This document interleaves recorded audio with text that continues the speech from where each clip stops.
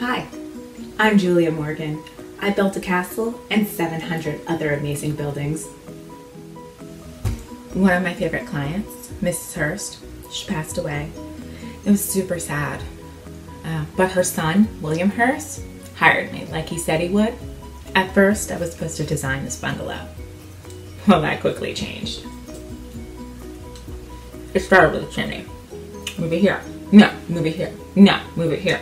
No, move it back to the original spot. Yes, Mr. Hearst. Then it was the pool. No, I don't like it. No, I don't like it. How about we put Neptune in it? Perfect. This list went on and on and on for 18 years. 18 years. Totally worth it. I built a castle. Ha ha ha ha!